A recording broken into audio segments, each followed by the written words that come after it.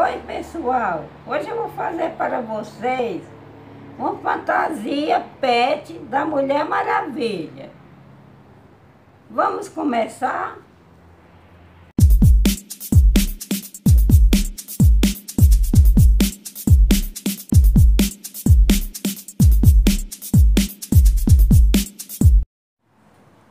Pessoal, vamos começar com o molde. Você pega o papel, aí corta o pescocinho, faz tipo uma jardineira.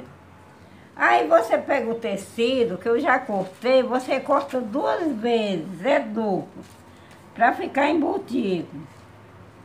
Duas vezes. Uma tira grande para fazer a abotoadura do lado e uma para o pescoço.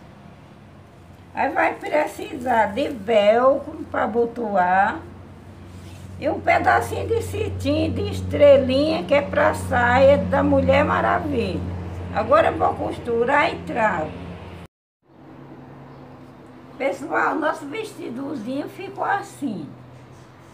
Aqui, botei dois lacinhos, é só uma alça. Você bota um véu para abotoar aqui no pescoço dela. Aí tem aqui, ó, isso aqui é do mesmo jeito. Você abotou, vou afastar para ver. Aqui fica embaixo da, do buchinho dela. Assim.